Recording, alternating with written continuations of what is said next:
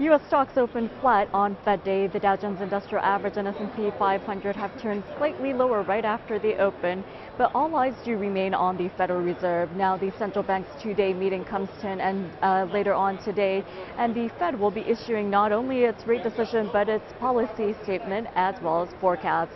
Now, there are expectations that the Federal Reserve could clarify the, timing of when it will be uh, winding down its bond buying program.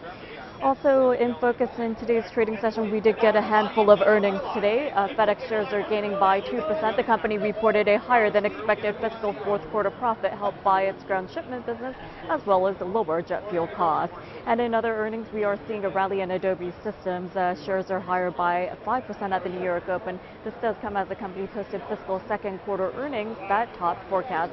The software company's uh, results were lifted by new subscribers to its Creative Cloud service. Taking a quick look at the foreign exchange market, the U.S. currency is trading lower against the euro pound and the yen. The euro dollar pair is hovering right below the 134 level at 133.91. Meanwhile, the dollar yen is trading lower, but it is above the 95 level.